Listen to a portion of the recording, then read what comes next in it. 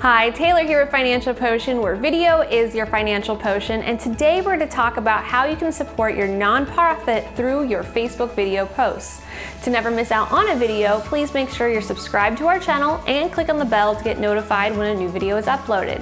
And if you're looking for that one-to-one -one training opportunity, please click above and connect with us on our Patreon page. So did you know that you can now support your nonprofits through your video posts? It's an option whenever you're publishing your video that you can connect with a registered 501c3.